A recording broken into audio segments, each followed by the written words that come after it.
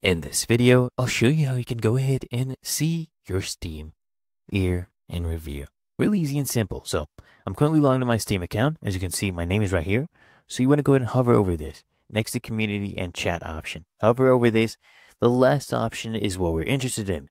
Steam replay. Just go ahead and click on this. This will show you the Steam replay for the last year. So it's showing me for 2024 and you can go ahead and change the privacy setting if you want to go ahead and share with other people.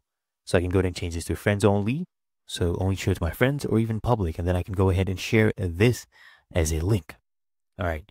Now, right here, you can also see different things. For example, the games you've played, the achievements you've unlocked, what's your longest streak, and specific games. You can go ahead and click on that, see how many sessions you've played, right? You can scroll down, see a bunch of cool statistics. Now I'll show you how to check for the other different years, right?